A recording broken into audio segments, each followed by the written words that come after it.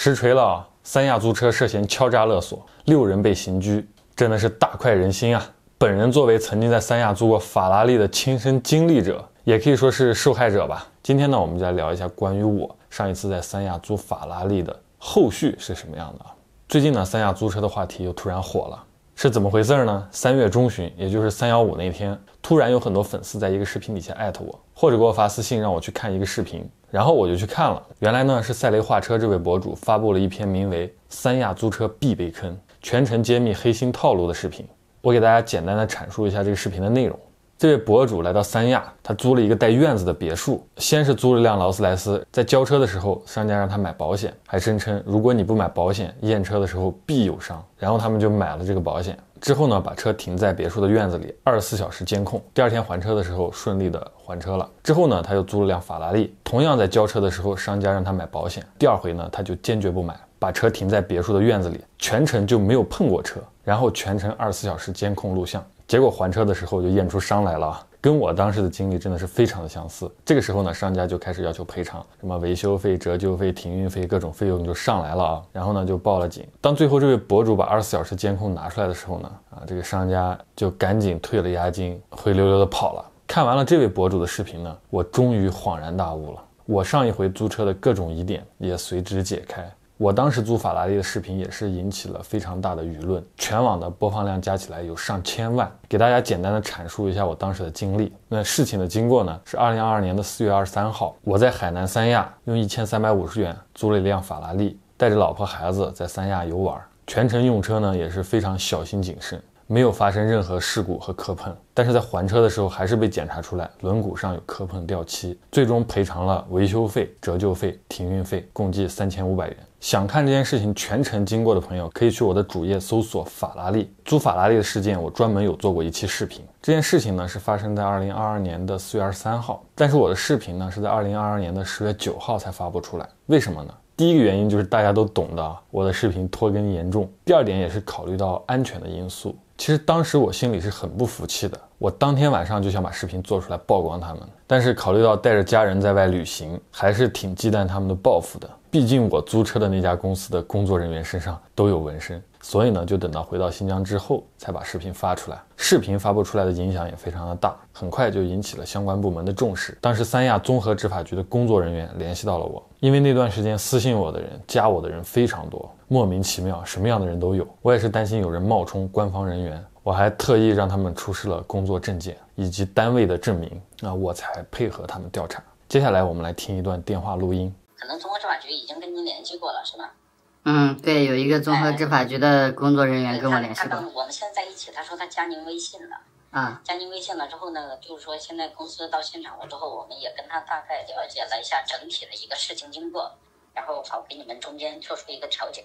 啊，好。我根据您所发的那个视频啊，然后包括整体的一个那个情况，我现在了解到的是，就是首先第一点，这个车辆是没有备案的。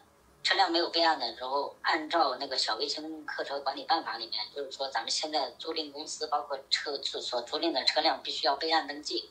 如果没有备案登记的话，咱们三亚市综合执法局会对对他们这个公司有一个相应的一个处罚。这是第一点，我给您告知一下。具体的处罚金额的话，因为我这边是三亚市交通局的，具体的处罚金额的话，可能到时候由三亚市综合执法局第三支队给您答复。就是您加微信的那个人，到时候他们的一个处理，他可能会给您答复。然后我这边主主要做的就是说，那个针对这个事情给你们做一个双方一个调解工作。就刚才我跟公司的他们那个那个那个那个法人啊。嗯，王总那边我也跟他沟通了，我也把这个事情跟他讲得很明白了，然后他那边呢也同意我的一个调解方案，就是说要求公司退还您的这个停运费用，您是否有异议？嗯，没有异议。打个比方来说，现在去到法院，法院肯定也不支持公司收取停运费用。呃，也就是说，三千五百减去一个车轮维修的八百，减去一个两百四，凑整就按照一千来嘛。按照一千来的话，就是说，呃，公司现在统一退还，就是大概在两千五的方向。哎，我让公司的法人跟您去沟通清楚了之后，如果您同意的情况下，他们通过他们的那个那个方式给您退还回去。这个是收取不当的地方。嗯嗯嗯。好吧？好好，明白了。哎，然后我想再问一下，您还有没有其他的诉求或者需要我们帮您处理解决的问题？这个事情的话，那我们就是交通局这块暂时先处理在这里。然后因为是啥呢？就是说我们这个舆情的话是多部门联合的，因为是综合执法局是作为牵头单位嘛。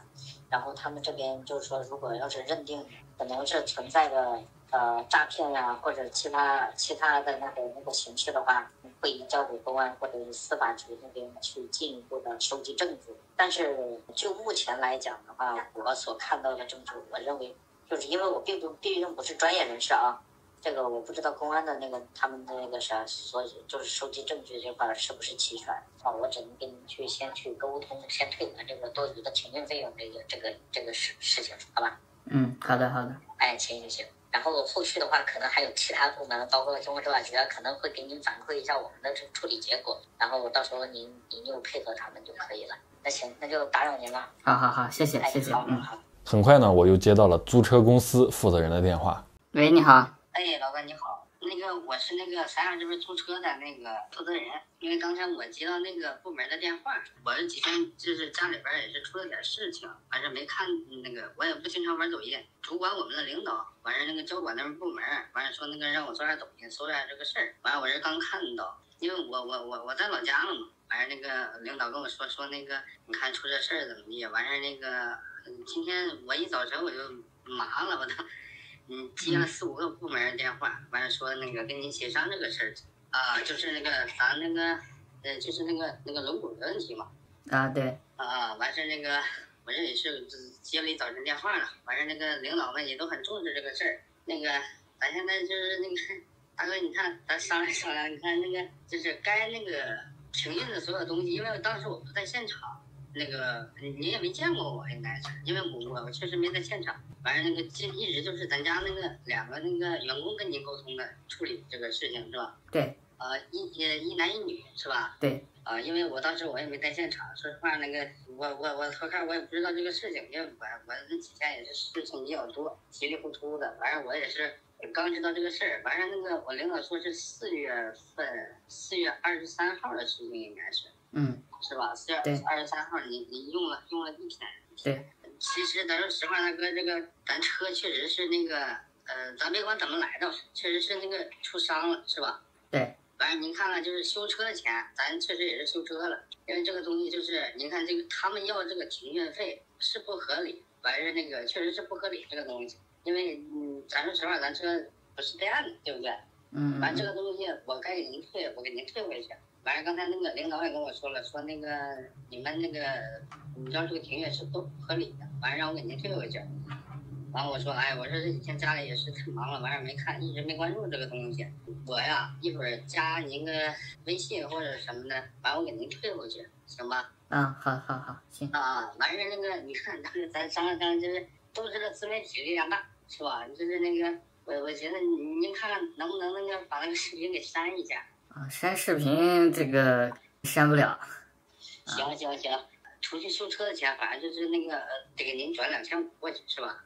啊，对对对。啊，行，那个东西都无所谓，但是那个，呃，我给您转过去，但是确实，嗯、呃，行，我我也不多说，行吧？啊，好好。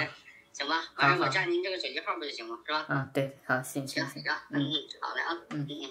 挂了电话之后呢，租车公司负责人加了我的微信。然后给我退还了两千五百元啊！至于再后来呢，那执法部门也对这家租车公司展开了调查，但是因为没有找到实质性的证据，我也没有办法证明轮毂上的磕碰不是我造成的。毕竟我当时没有二十四小时的监控录像啊，警察呢也没有找到他们公司故意破坏、敲诈勒索我的证据，所以呢这件事情就到此为止了。我最终付出的费用呢是租车费一千三百五十元和维修费八百元。共计两千一百五十元，这个结局呢还算是满意吧，多少是追回来了一点啊。那到目前为止啊，我的微信里还有这位租车公司负责人的微信啊，我还能看到他的朋友圈。自从他给我退还了两千五百块钱之后呢，我跟他之间就再没有任何的交流，但是他也没有把我拉黑，我也没有把他拉黑啊，我们还能互相看到对方的朋友圈啊，就是这么微妙的一个关系啊。可以确定的是，后来他的租车公司还在正常的运营啊，这件事情可能没有对他造成。非常大的这个代价，